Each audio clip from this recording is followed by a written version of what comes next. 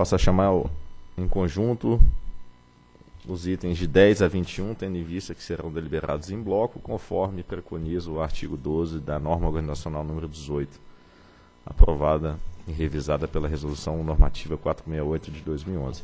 Informo que a decisão, com inteiro teor do relatório, da fundamentação, bem como a minuta do ato administrativo, estão disponíveis em nossas página eletrônica desde a última quarta-feira, dia 9 de janeiro. Que inicialmente questiono se alguém gostaria de fazer alguma solicitação de destaque entre as nossas propostas de voto que foram disponibilizadas na nossa página na internet, né, dos itens 10 a 21. né. Tem uma observação aqui na minha coisa aqui também, que diz que o item 17 teria solicitado pelo representante da empresa. Houve um pedido inicialmente, mas depois a- o representante pediu a desistência desse pedido de destaque. Houve a desistência.